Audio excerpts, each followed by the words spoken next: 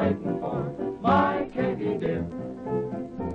I'm a mess a lot of fun, I tell you what, there's a time when I'm never late when waiting for my Katie dear. Our appointment was for seven, it's quarter after eight.